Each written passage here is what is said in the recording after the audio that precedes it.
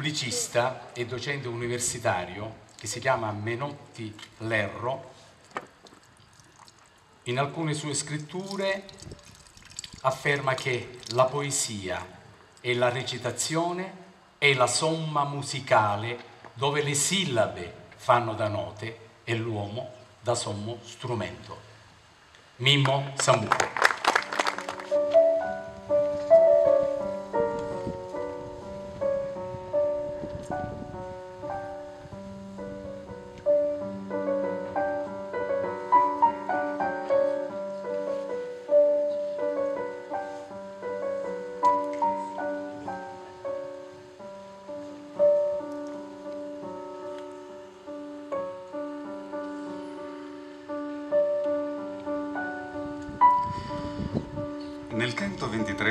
Paradiso ci troviamo nel cielo delle stelle fisse.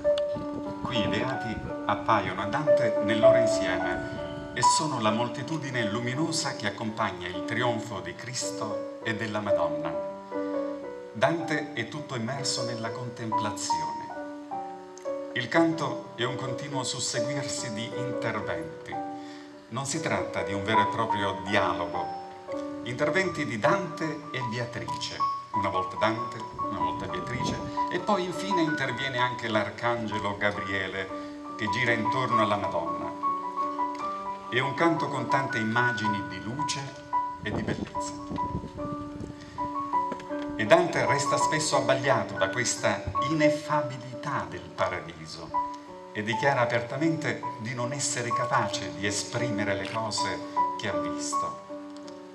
Beatrice contempla la parte più alta sì, contempla la parte più alta del cielo con espressione di attesa, come un uccello che nel suo nido aspetta con ansia il sorgere del sole. Poi il cielo si illumina sempre più per l'arrivo delle schiere dei beati. La gioia espressa da Beatrice è tale che Dante non è in grado di descriverla. In questa fortissima luce traspare Cristo, la lucente sostanza, così abbagliante che Dante non riesce a contemplare e la mente di Dante in quei momenti di illuminazione diventa più grande e riesce a comprendere cose che poi non ricorda più. Beatrice lo invita a guardarla, finalmente Dante può vedere il viso di Beatrice. Poi, vedendo così estasiato Dante, Beatrice lo esorta a distogliere lo sguardo dal suo volto e a guardare il bel giardino che fiorisce sotto i raggi di Cristo. Qui c'è la rosa, la Madonna, e ci sono i gigli, gli apostoli. Dante comprende che Cristo è andato più in alto per non abbagliare la debole vista del poeta. L'attenzione di Dante si concentra quindi sulla Madonna. Compare l'arcangelo Gabriele sotto forma di una luce come una corona e gira intorno alla Vergine emettendo canto suave.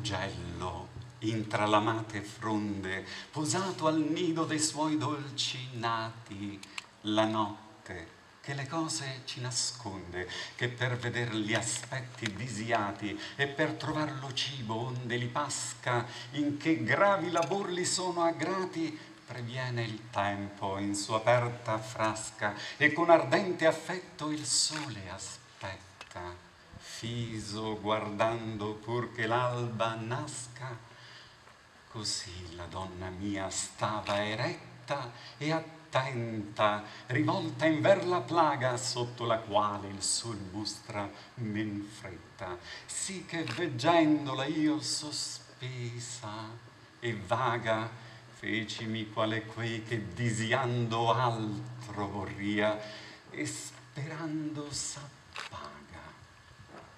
Ma poco fu tra uno e altro, quando del mio attender dico e del vedere lo ciel venir più e più rischiarando, e Beatrice disse, ecco le schiere del trionfo di Cristo e tutto il frutto ricolto del girar di queste spere pariemi che il suo viso ardesse tutto e gli occhi avea di letizia sì pieni che passarmen convien sanza costrutto quale ne pleni luni sereni trivia ride tra le ninfe eterne che dipingono ciel per tutti i seni vidi sovra migliaia di lucerne un sol che tutte quante l'accendea come fa il nostro le viste superne e per la viva luce trasparea la lucente sostanza tanto chiara nel viso mio che non la sostenea.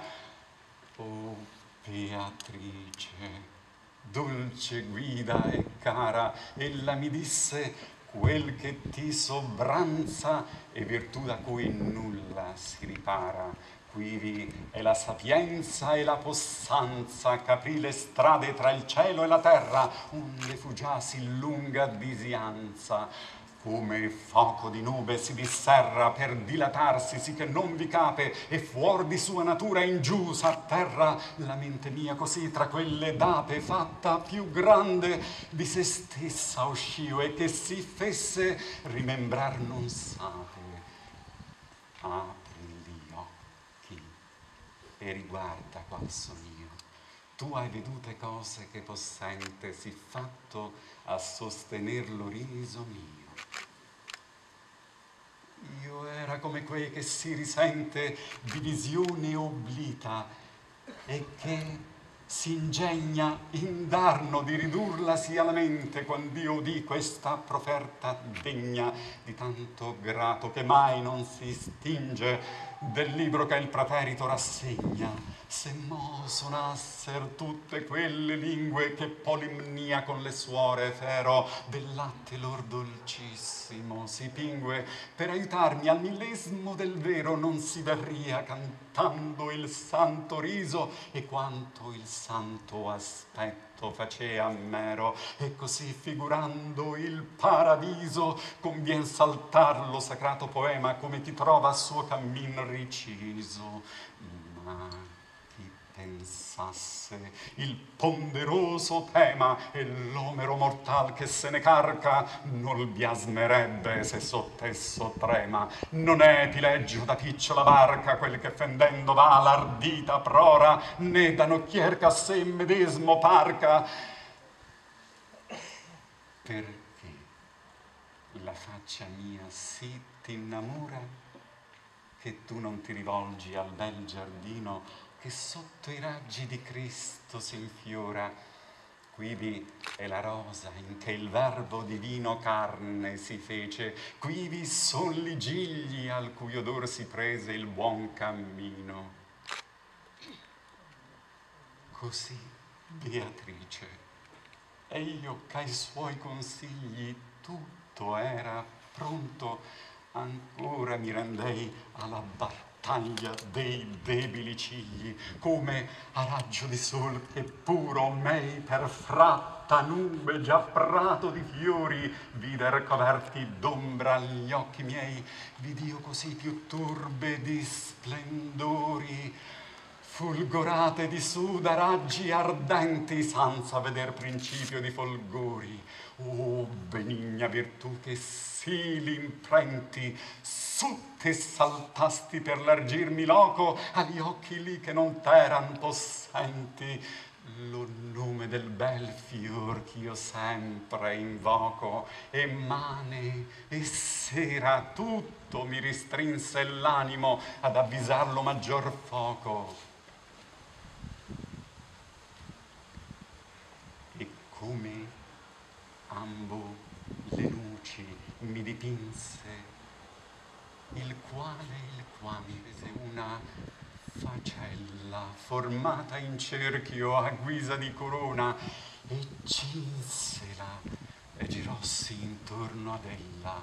Qualunque melodia più dolce suona qua giù e più a sé l'animo tira parrebbe nube che squarciata tona comparata al sonar di quella lira onde si coronava il gran Zafiro, del quale il ciel più chiaro senza fira.